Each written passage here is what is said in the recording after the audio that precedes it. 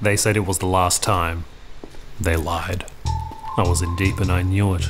With no leads and the stacks piled against me, this would be my hardest case yet, but where to begin? Where it always began. Dirty Dom. Dusty. So dusty. Why is it always so dusty in here, Dom? I. I know why. You're a pig. Dirty, sloppy, fat. But But you don't care. You don't care about anyone else but yourself, do you, Dom? It's always help me with this, lift that, open the door for me. Well, I'm sick of it. You did it. I know it was you and you left them dead or rot. Confess us, so help me God, I'll make it with this globe. it It was you! It wasn't me. Prove it!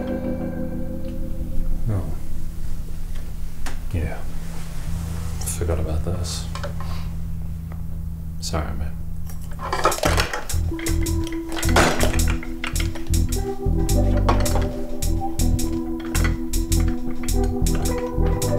Dom was innocent, that much I knew. But Charlie, I didn't know jack about Charlie, and that was about to change.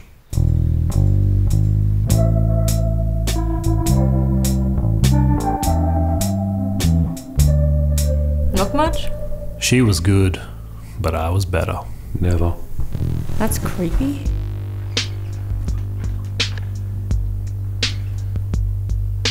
Look, I'm gonna cut to the chase.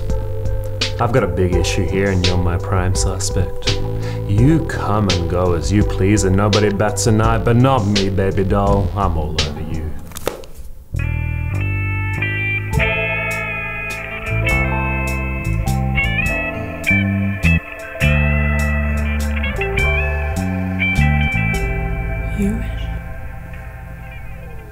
Charlie was clean, Dom was dirty, and what I had before me was a mess.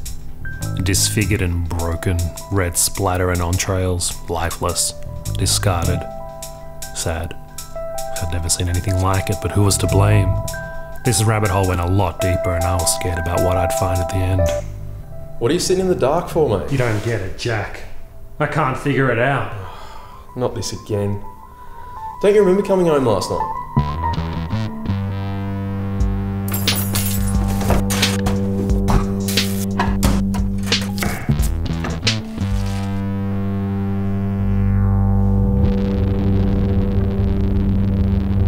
Fuckhead, they're your dishes.